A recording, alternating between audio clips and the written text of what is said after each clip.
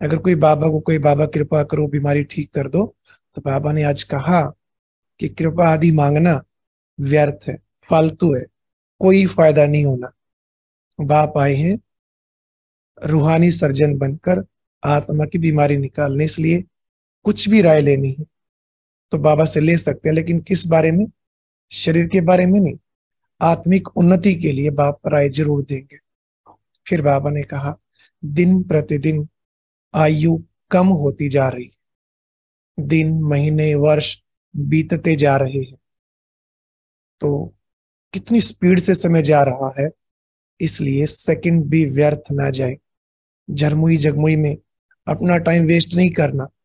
हाँ अगर कोई आपके सामने आकर इधर उधर की बात करता है तो समझना चाहिए। ये हमारा ये हमारा दोस्त नहीं, दुश्मन है ये तो। जिससे आत्मा की उन्नति हो, कोई ऐसी बातें करे तो ठीक है। नहीं तो समझो इसके अंदर माया प्रवेश है और ये हमारा दुश्मन बनकर आया है जो ऐसी ऐसी बातें करके हमारा टाइम वेस्ट कर रहा है। क्योंकि ब्राह्मणों का समय बहुत वैल्यूएबल है, इसलिए समय का बड़ा ध्यान रखना है। फिर बाबा ने कहा, याद के लिए कि याद बहुत ज़रूरी है। उठते, बैठते, चलते, फिरते तो याद करना है, लेकिन औरों को भी याद दिलाना है। याद से ही कल्याण होगा। अपना कल्याण चाहते हो, दूसरों का चाहते हो तो अगर खाना खाओ, स्नान करने जाओ तो भी याद भी करो और दूसरों को भी दिलाओ। पूछो, शिव बाबा, याद है? अच्छा जो भोजन बनाते हैं, उनके लिए बाबा ने खास कहा। आपको तो पूरा योग युक्त होकर ही भोजन बनाना है, क्योंकि योग से ही ताकत आएगी। जिया दान मिलता है योग से। और लास्ट में बाबा ने एक ऐसी बात कही कि अभी ना याद की बहुत अच्छी प्रैक्टिस करो। ऐसी प्रैक्टिस हो कि कितना भी शोर हो रहा है, बाहर कितना भी हल्ला हो रहा हो, अंदर बिल्कुल शांत। क्योंकि लास्ट में बॉम्ब्स फटेंगे, भूकंप आएँगे तो ऐसे समय पर बाहर हलचल होगी। अंदर हलचल ना हो, अंदर से हरे को अचल रहना है, तब पास होंगे।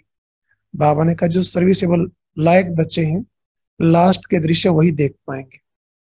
इसलिए अभी से अपने को मज़बूत बनाओ। कितना भी शोरगुल हो रहा हो, अंदर शांत रहना है।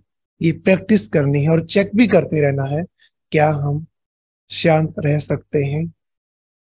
क्योंकि कई बार बाबा कहते हैं, ज्ञान सुनने में शोर का, आवाज़ का विघ्न पड़ता है, परंतु योग में अगर बाहर बाजे बज रहे हैं, डीजे बज रहा है तो उसका असर नहीं आना चाहिए।